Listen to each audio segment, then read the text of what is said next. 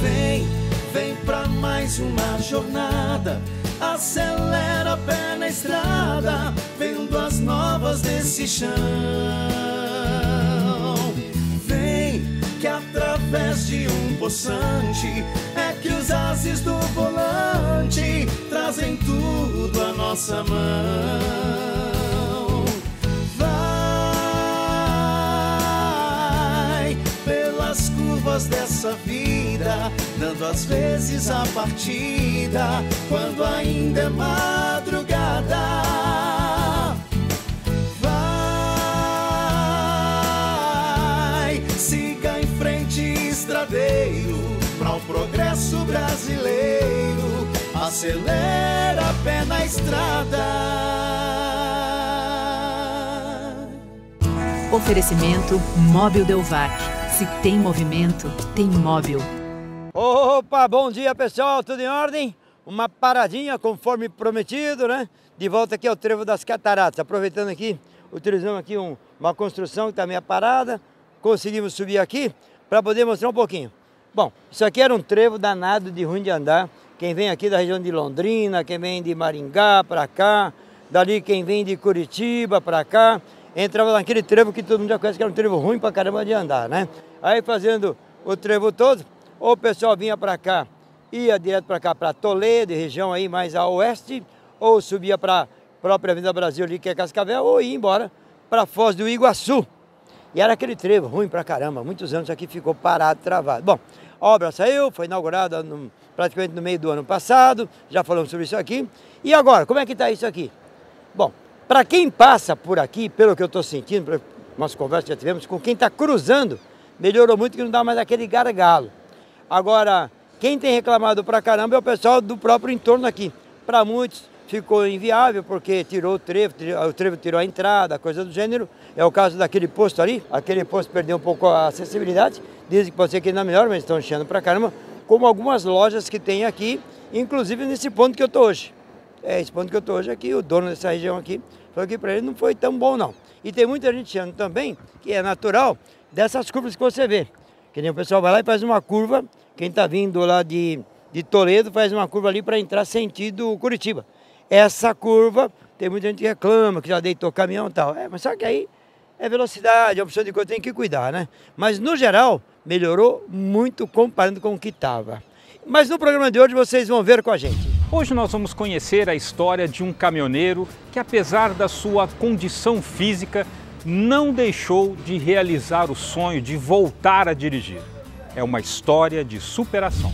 Nas observações da sua CNH, tem as letrinhas EAR? Se não tiver, você pode tomar multa. Como sempre, isso e muito mais. Recados, dicas, alertas, informações. Como nós estamos indo já para o final do, do mês de fevereiro, né? o último domingo de fevereiro de 2023, tem muita coisa para rolar a partir de então. Porque março passou carnaval, a gente está esperando que o nosso gatilho da economia venha. Vamos ver se vem mesmo, né? Fica com a gente, nós vamos rodar pelo trevo hoje. Bora lá!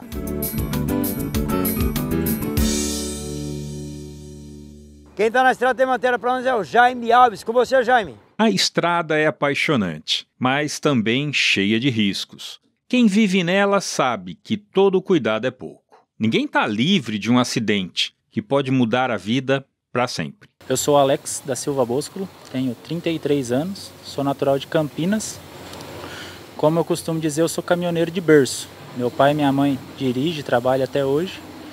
E eu vim dessa, dessa linhagem aí. O Alex é caminhoneiro desde os 18 anos. Tudo ia bem, mas em 2016.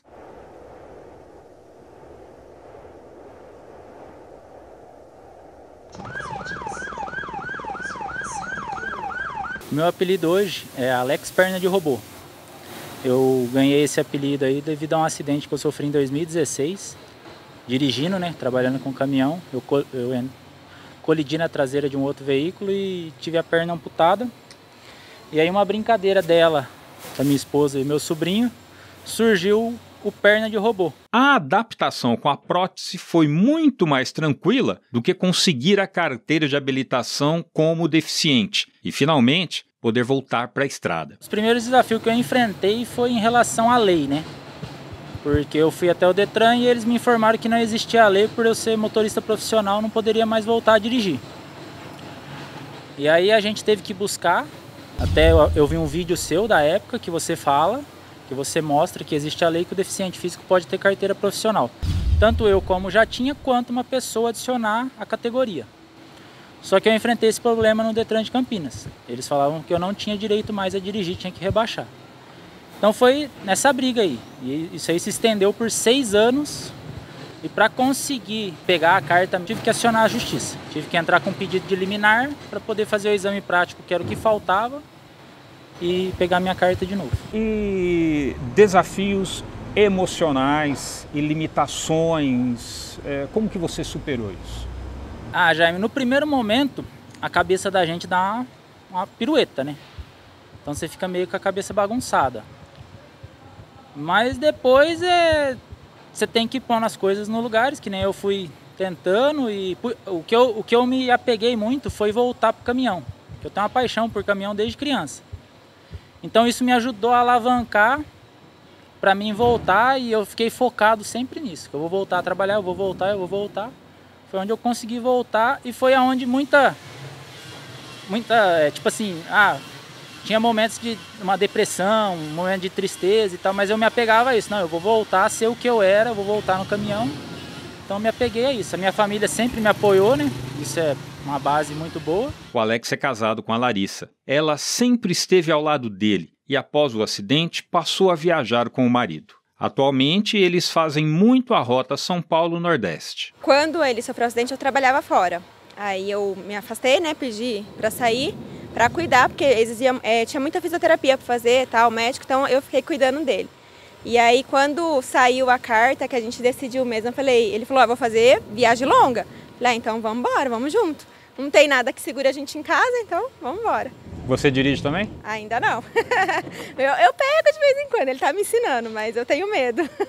Preconceitos? Sim, ele já sofreu. Até mesmo de duas empresas onde foi impedido de carregar. Os olhares estranhos e curiosos ainda incomodam a Larissa, mas o Alex leva numa boa.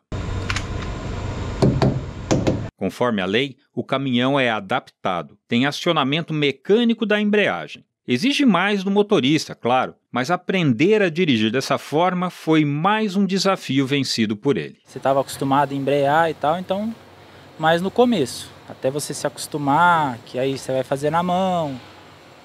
Mas aí depois a mente, acho que a cabeça da gente dá aquele tombo e vai assimilando, né? O Alex sonha em trocar o cavalo Mercedes 1630 ano 95 por um cargueiro mais novo e automatizado. Mas por enquanto não dá. O acidente deixou sequelas também nas finanças. O Alex chegou a ter cinco caminhões e motoristas empregados, mas acumulou dívidas. Este é outro obstáculo que ele está superando. Eu estava numa fase boa, não, não podia reclamar.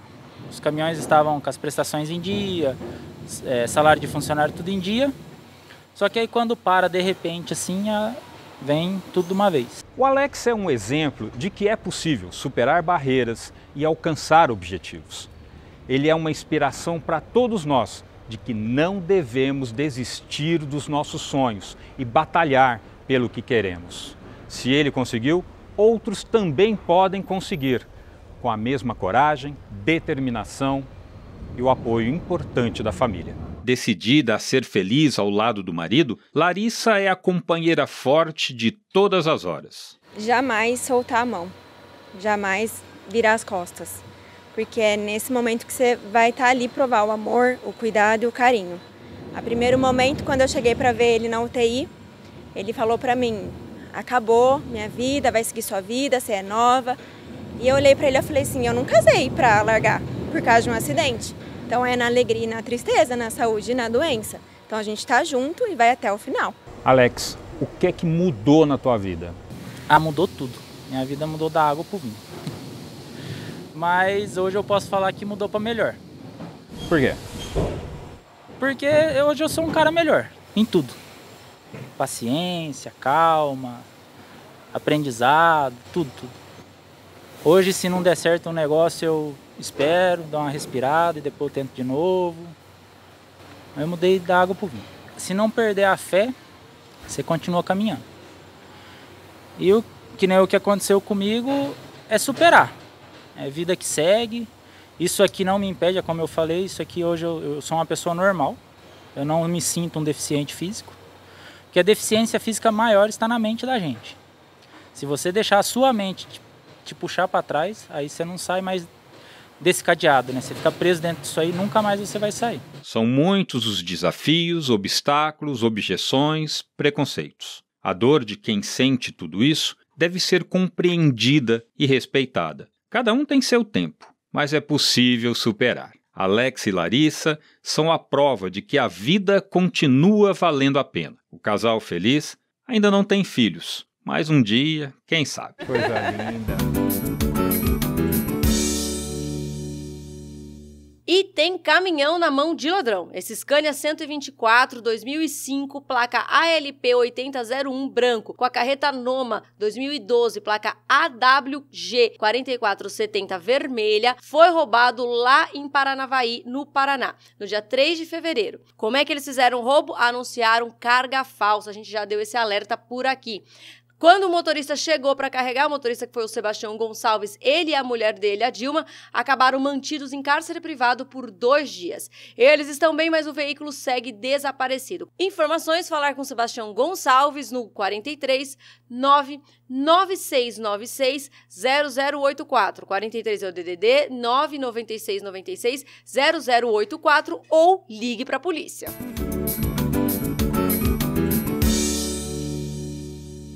Aproveitar aqui uma paradinha. Ô Porari, você já viu esse trevo aqui de várias maneiras, né? O Porari que está aqui há 40 anos. Então, já vi de tudo que é tipo o trevo. Deram uma melhoradinha, fizeram um contorno bom aqui para fazer o viaduto, mas não ficou muito bom para os usuários aqui que estão vindo de fora, estão se perdendo muito nesse trevo aqui. Bom, na verdade, eles tinham que ter modificado muita coisinha agora que fizeram aqui, muita coisa que precisa dar uma modificada aqui. E o pessoal está se perdendo, que vem de fora, acaba entrando onde não deveria. O pessoal da cidade tem reclamado um pouco quem tem comércio porque ficou meio ruim. É, perfeitamente. O pessoal do comércio aqui também estão reclamando muito por causa que não tem saída, não tem acesso para o trevo. Para você ter um acesso para o trevo, você tem que andar mais ou menos um, umas 8, 10 quadras aqui para o lado de trás aqui do, da vila. E o pessoal que chega de fora, dá de, de encontro num trevo desse aqui, o que acontece? Ele se perde totalmente por causa que não sabe nem para que via que eles vão pegar. As placas causa, não ajudam? As placas estão muito... acesso é muito restrito, muito é como diz o é muito uma escondido. É uma em cima da outra, escondida. Então tem pista que, por exemplo, essa pista aqui está bem paradona. Podia ser usada essa pista aqui, que é uma pista muito, muito boa. Não que eu quero que use essa pista. Ah. Dizer que eu quero por causa ah. do meu movimento, jamais. Mas essa pista aqui que está parada, eles podiam colocar uma sinalização lá atrás, lá que vai para Mato Grosso e Toledo, já dava um pouquinho mais de liberação da, daquela pista do, da 277. Aliviaria bastante. Então tem muita coisa aqui que eles têm que dar uma melhorada. Agora, se eles vão tomar iniciativa para melhorar, a gente não, não sabemos o que eles vão fazer. Vamos, vamos levar isso para quem, quem né, cuida justamente da administração disso aqui, para ver se estão pensando nisso e fazer ajustes. Fica aqui comigo um pouquinho. Tá, eu rapidinho aqui, pessoal que escreve para nós. Opa lá, Trucão, tudo bem? Sou o Ricardo, turma do Cabo de Aço, mais conhecido como Cabelo, lá de Roraima. Tá aí, faço muito Roraima, Itacoaxetuba, São Paulo. Seria muito que é, aparecesse a gente aí no programa. Tá aí, tá aparecendo. O Jesus dele que ele pediu tá no painel do veículo dele, que é uma, que é uma F4000, F1000, né? Tá com cara de F1000. É uma F1000. F1000. Valeu, grande. Obrigado, Ricardo. Abração pra você aí, viu, rapaz? Tem mais aqui. Olá, equipe do programa Pela Estrada. Sou o Vitor Ralfi, de Maria da Fé do sul de Minas Gerais. Aquela região do sul de Minas Gerais. Já foi para ali? Eu não conheço aquela região, conheço mais por parte do Mato Grosso. Mato Grosso. Então tá, ele é do, de Maria da Fé, um lugar alto pra caramba, frio pra Dedéu, lá em Minas Gerais. Eu acompanho vocês direto e reto. Quando vocês viram uma foto, você colocar a gente aí. Tá aí, né? Tivemos juntos na Fenatran 2022. Eu tô lembrado, esteve lá com a gente mesmo. Abração para você, viu? Desejo a todo mundo um feliz 2023. Brigadão, rapaz. Abração a você, Vitor, e todo o pessoal aí de Maria da Fé. Ainda para fechar aqui, Rodrigo, Rodrigo Cabral de Castilho. Gostaria que vocês mandassem um abraço a todos os motoristas aqui da cidade de Herculândia e a todos os companheiros da empresa Amendopan Alimentos, que também nos acompanha. Queria, se possível, ganhar um brinde, vou ficar devendo por enquanto. Forte abraço aí para toda a galera, Paula Toco, Trucão, Jaime Alves e toda a equipe. Tá legal. Se aproveita aqui, manda um alô para alguém, já fala pro pessoal do Turbo aqui. Eu dou alô para todos os caminhoneiros, o pessoal do, do, do agro também. Então, para o Brasil inteiro. Um abração para todo mundo aí e ficamos, E se passar aqui no trevo, ele fica bem no trevo. Aqui é, uma, aqui é um acesso, né? Aqui é um acesso que entra para a vila, né? Para a vila, que é a vila que entra aqui ao lado da Vila Brasil, dentro de Cascavel. Que vila é aqui? Qual é o nome dessa vila aqui? A vila é o Cataratas mesmo. A própria Vila Cataratas. É. Ele está aqui com o turbo, o prédio dele está aqui subindo, logo, logo diz que quer botar um hotel aqui, tomara que dê, né? É, tomara que dê tudo certo, né? A gente espera que dê tudo certo. É isso aí. Se você quiser escrever para nós uma bronca, uma dica, um recado, um alerta, um alôzinho, fazer uma foto, quer mandar, fica à vontade. Trucão, arroba trucão que chega para nós, tá bom? Abraço.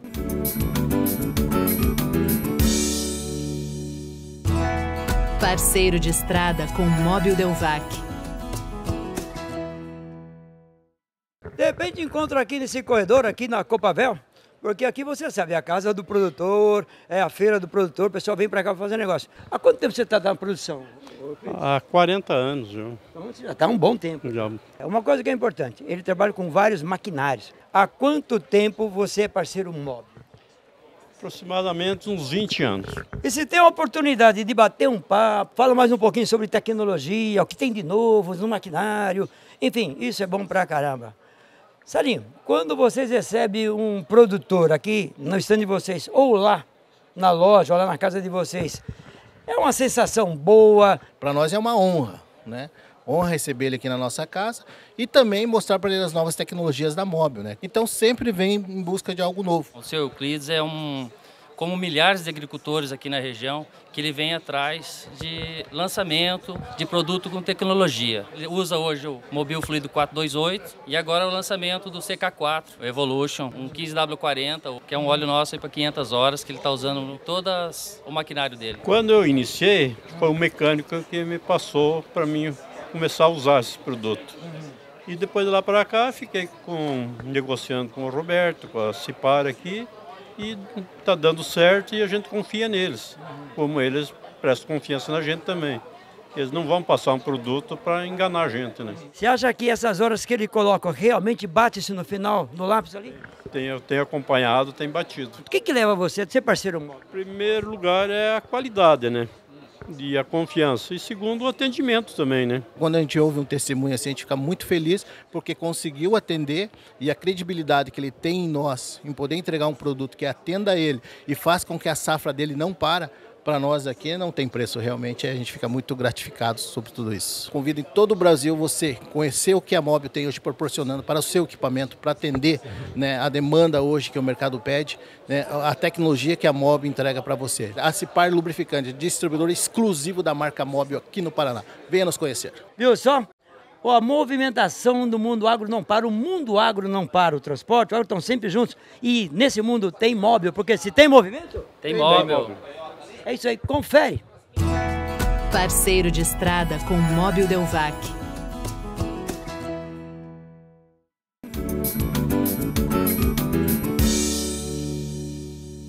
Você já olhou o campo de observações da sua CNH? Por acaso ali tem as letrinhas EAR? Sim, possuo EAR. Sim, tenho sim. Não sei, nunca vi, nunca olhei para ver se eu tenho ou não. Vamos olhar?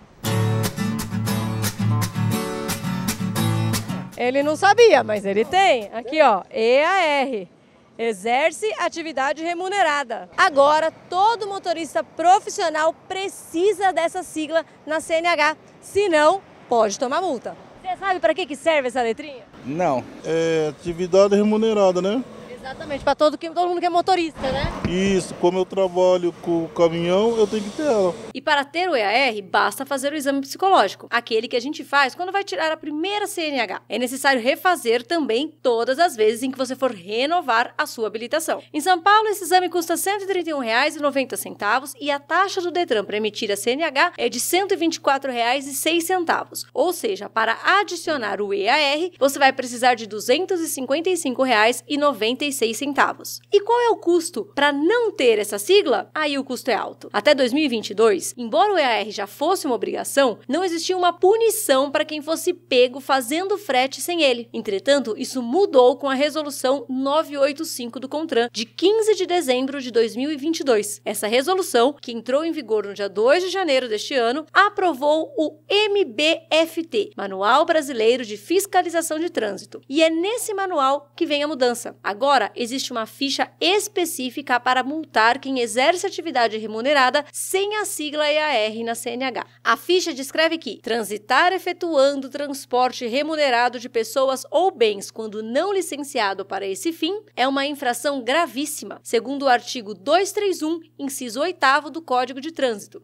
Lembrando que uma infração gravíssima gera 7 pontos na CNH, R$ 293,47 de multa e, nesse caso, também apreensão do veículo, até, claro, alguém que tenha EAR possa aparecer para dirigi-lo. E a lei não se aplica apenas a motoristas de caminhão e ônibus, ela também se aplica a motoristas categoria A e B que dirigem de forma profissional. E agora eu vou trocar de lugar com o Paquinha pela primeira vez nesse programa, porque é ele que vai dar a entrevista. Sou motorista profissional também nas horas vagas, Paula. Eu dirijo o aplicativo Uber.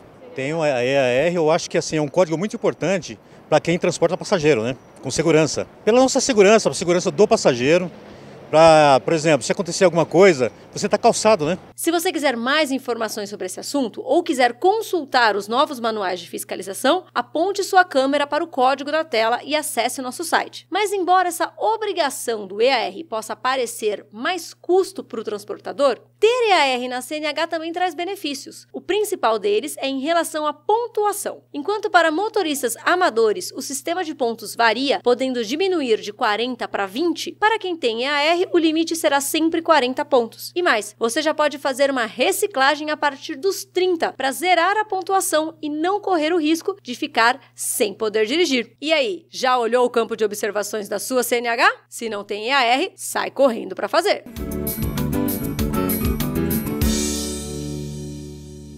Parceiro é estradeiro, trabalha com cargueiro, tem um problema de audição, mas ele tem um equipamento, ele lê muitos lábios, ouve pouco, mas está qualificado para trabalhar com cargueiro. Tanto é que ele é motorista desde 2007, né? Isso, desde 2007. Trabalha com carga frigorificada. Você mora em qual cidade? Eu, eu sou de Porto Lucena, mas morei 20 anos em Brusque. Brusque, é, Santa Catarina. Brusque, Santa Catarina. Porto Lucena é Rio Grande do Sul. É, Porto Lucena, Rio Grande do Sul, ao lado de Porto Xavier. Porto Xavier, tá ali, é do Rio Uruguai ali. Rapaz, vem aqui comigo, vem cá um pouquinho, vamos dar uma olhadinha aqui. Só pra você ver, ele tem uma deficiência, mas não atrapalha nem um pouco, trabalha direto e reto. Bom, vem cá comigo. Trucão, dá uma olhada nessas imagens aqui. Rodovia BR-242, quem vem do Tocantins passa por Luiz Eduardo Magalhães, Barreiras, Ibutirama, se abre e assim vai até a 116. E depois só pega essa buracaiada aqui. Rapaz, você tem pego rodovias com muito buraco? Sim, bastante buraco. Remendo, uh, um remendo em cima do outro, aquilo complica bastante para a carga, né? E é muito, que solta a carga toda. Mas a bronca dele aqui dessas duas rodovias, a 242, trecho da 116, que ali é via Bahia onde ele fala, e depois a 324, que também é via Bahia. Porque ele vai descarregar sempre no porto de Aratu, tá levando grãos. E a bronca dele é justamente assim: será que alguém um dia vai nos ajudar? Será que isso vai melhorar um dia? É o que a gente mais espera, viu, Leandro? O Leandro mora lá, da, ele é do, da região oeste da Bahia e dessa bronca e manda essas imagens para dar uma olhadinha. Realmente não dá para rodar numa rodovia assim, complicado. Rapaz, você que está aqui fazendo Mercosul, tá difícil? Isso. Tá ruim de? É ruim, ruim, ruim. É. Uh, eu agora, nessa vinda aqui, é. uh, eu até estraguei um pneu por causa de desviando a minha Vanderleia, né? Uhum. O eixo da frente deu uma comida de um lado por causa de puxa para cá, puxa para lá, né? Tá aí, né? Olha, além de estrada ruim, frete não tem, porque Argentina e Chile tá ruim e o valor do frete também tá ruim, né? Como? O valor do frete tá muito ruim também. Sim, sim. Tá aí, o valor do frete tá muito baixo. E a turma tá achando. Difícil de carregar daqui para lá, de lá para cá tá difícil também. E o frete lá embaixo. E a economia argentina lá um buraco. Você manda aqui um alô para quem lá? Isso. Manda um recado para quem?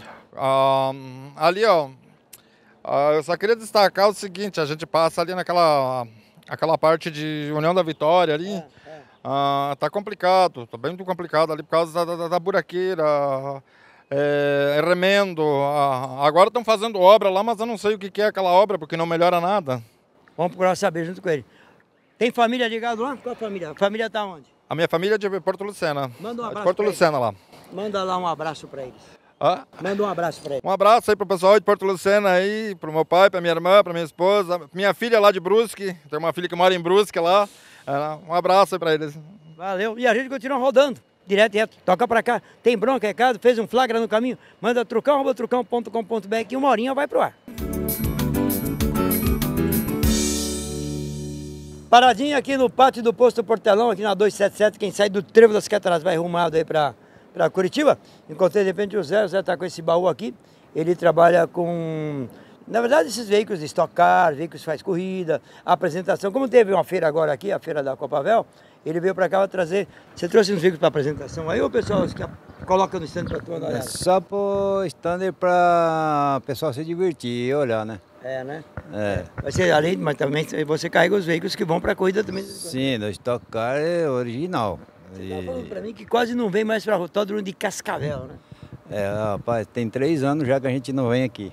Porque o pessoal lembra que o pessoal está meio ruim. Ah, eu não sei, rapaz, se é os pilotos, o que, que acontece, mas ele diz que lixa muito pneu, né? É, a gente vê que ali o stand está meio largado. É, Foi o que tá. eu já percebi ali.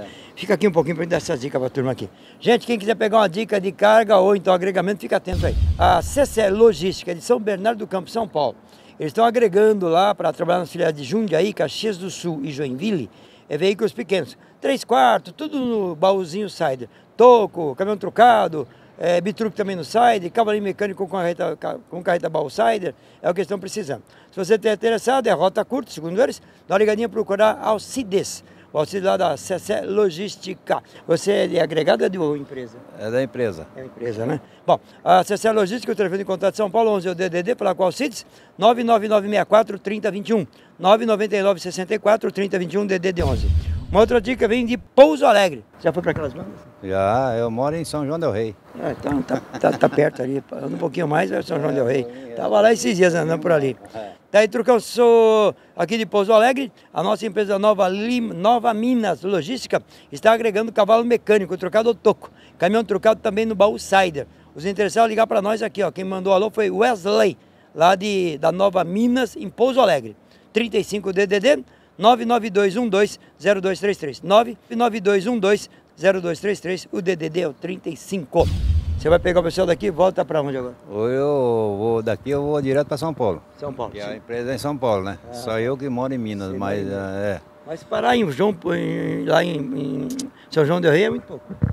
Você parar muito. Não, não, eu paro lá, eu moro lá e moro em São Paulo. É, é, faz ponte. É, faz ponte. Aproveita e manda alô pra turma lá. É, um abração aí pra galera aí, ó, do trecho e tamo aí, né, na parada. Não pode parar, não. e a gente continua no texto. Daqui a pouco a gente volta.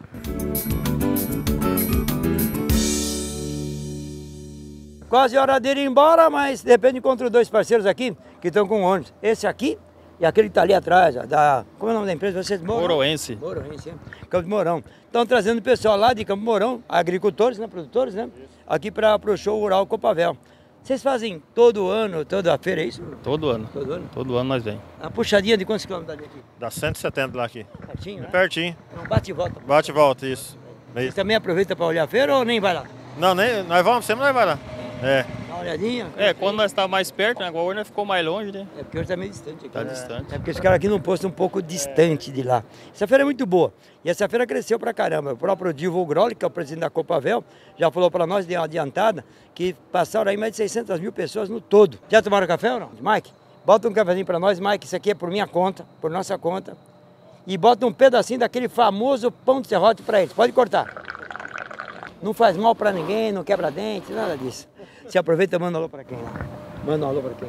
Um alô pra minha, pra minha família lá em Campo Mourão, minha esposa, meus filhos. Como é que chama a esposa e os filhos? Elisete, Uhum. meu filho é Monique e- e Matheus. Beleza, aí você manda alô pra Manda alô pra minha família e meus amigos lá da aviação moronense.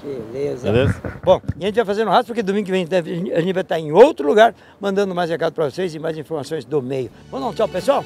Gente, abraço para vocês, porque já que ele não pagou o café para mim, eu vou tentar serrar um café lá na lanchonete. tchau, pessoal, até semana. Vem, vença mais um desafio. Pra rodar, tem que ter brilho, é ser motor de uma nação.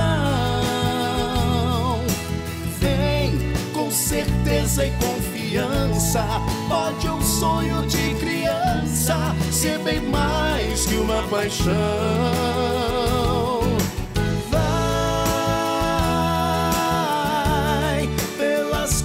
Dessa vida, dando às vezes a partida, quando ainda é madrugada.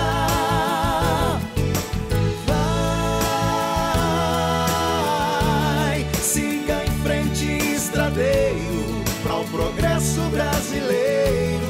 A acelera pé na estrada. Oferecimento Móvel Delvac. Se tem movimento, tem móvel.